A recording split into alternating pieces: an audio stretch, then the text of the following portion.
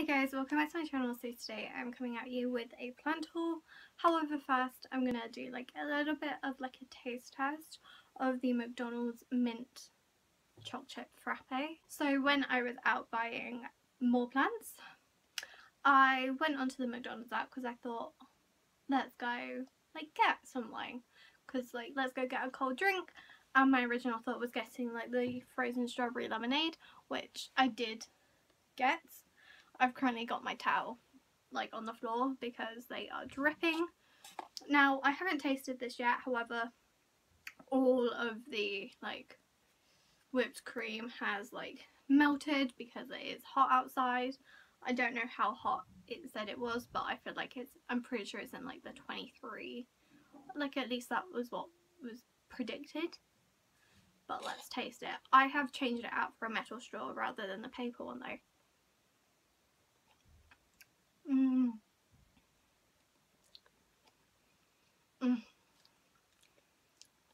In a sense, this part makes me think of the um, like Millionaire's frappe, like because it has like the chocolate bits in.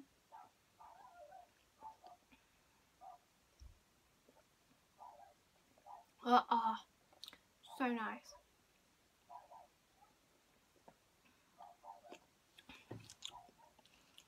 I do love a good like mint chocolate chip ice cream. And I've actually brought out like a dress. Now one with one of the plants I'm just kind of going to show you the plant they're rooted because there wasn't enough soil in the pot so it's literally just all the soil's gone everywhere. And also sorry about any barking you hear in the background, that's my neighbour's dog. He barks at literally everything. The first plant I bought was from B&M and it was this Dracaena and I'm getting soil on me. Let's try and look. Get it on the drinks. Is this Dracaena? I'm pulling it back in the bag. It was... I have got soil everywhere. But I've got... Luckily I put the towel down now because all the soil's gone onto the towel. Also, this was my first time trying the mint, not the mint, the frozen strawberry lemonade, and oh, it's incredible. So yeah, I got that Dracaena, three pound fifty from B&M. It was like the last one, and obviously it was going to be like the runt of the litter, because it's literally not got any soil in. Now that wasn't the only plant I bought from B&M, because I also bought this like mini succulent at like two pounds, and it's a crassula.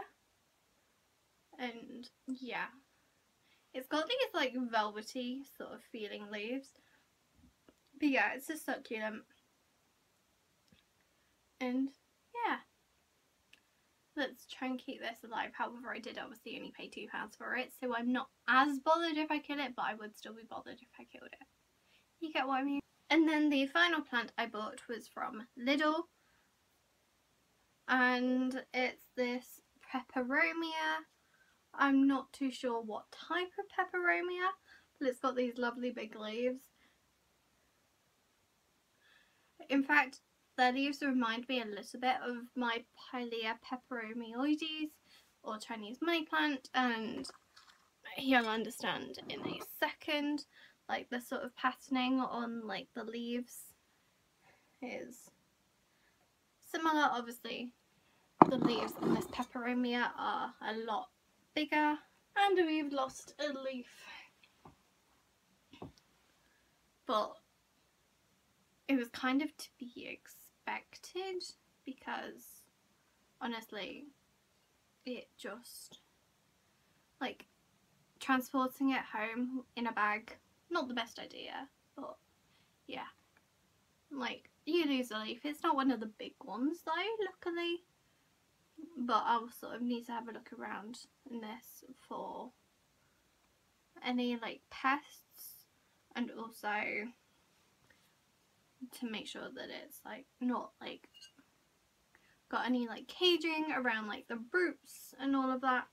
But it's really really nice. I if these if this leaf is like healthy then it has like this bubbling effect but I'm not sure. Like it could be like the really mature leaves, but again, I'm not too sure. And yeah, so I need to look around that. But I need to sort out my Dracaena. But yeah, those are the few plants I bought.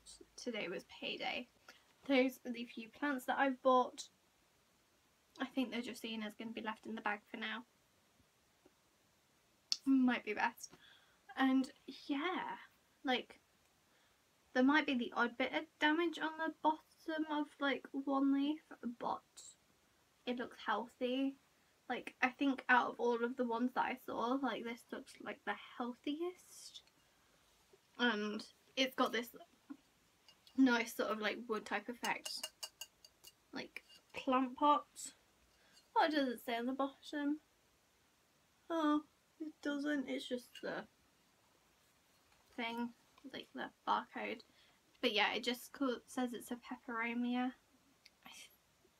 And I'll have to go onto my, like, onto the Facebook, like, plant group as to what specific type it is. But I paid £6, well, five ninety nine in total, which is, like, really, really good for, like, a plant. So, yeah. I hope you guys enjoyed this video. It was definitely messy. I will sort of say that. But I hope you guys enjoyed. If you did, don't forget to smash a massive thumbs up. And don't forget to watch another one of my videos before you leave. And I will see you guys in my next video. Bye guys.